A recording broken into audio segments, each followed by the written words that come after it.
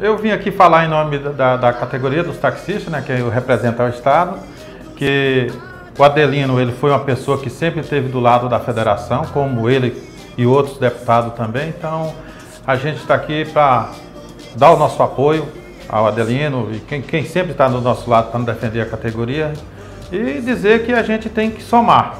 Não adianta a gente só falar que vai votar em fulano se a gente não pedir para o vizinho, para um amigo, que a gente tem que ajudar para somar isso para a gente ter um bom resultado lá no futuro, entendeu? Eu só queria agradecer ao deputado pelo apoio que ele tem nos dando, todas as vezes que nós precisamos no gabinete, tem nos apoiado, tem nos acompanhado, como a gente tem levado para os, todos os membros dessa federação, o apoio.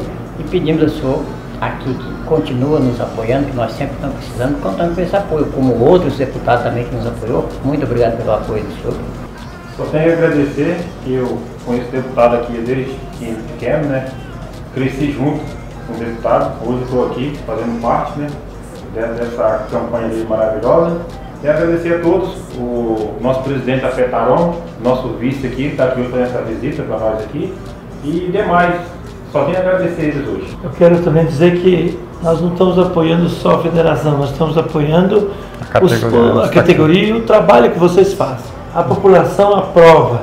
Então, por isso que nós temos obrigação de apoiar vocês, porque a população já aprovou o serviço de vocês. Nós queremos continuar apoiando, que é obrigação nossa. Então, conte com o nosso apoio. Para nós é um prazer estar aqui junto com vocês e agradecer a presença de vocês aqui é. nessa reta final. É, nós estamos nos colocando à disposição mais uma vez para poder continuar lutando junto com vocês para defender a população de Rondônia. E aí pessoal, vamos somar aí para no dia 7 o resultado positivo para a categoria toda e para os nossos deputados também. Adelino,